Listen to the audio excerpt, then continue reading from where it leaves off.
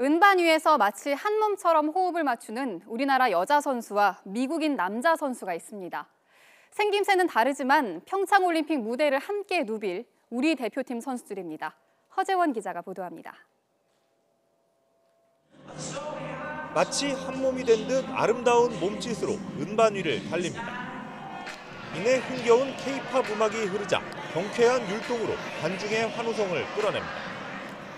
머리 색도 눈동자 색도 다르지만 대한민국을 대표하는 아이스댄스 커플 민유라, 알렉산더 게멀린조입니다.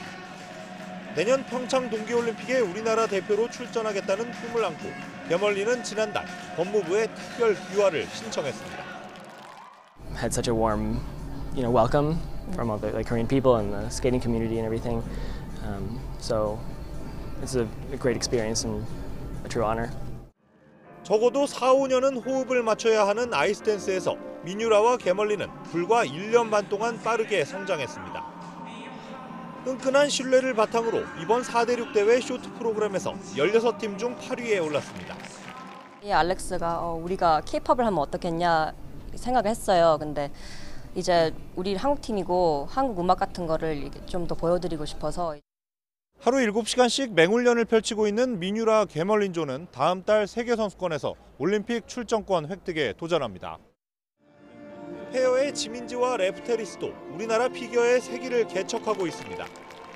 17살의 나이차가 느껴지지 않을 정도로 끈끈한 호흡을 자랑합니다.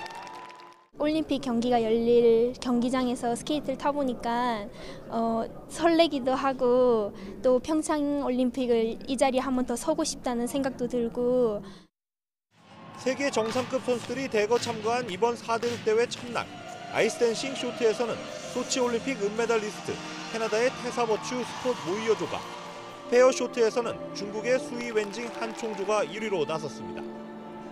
YTN 허재원입니다.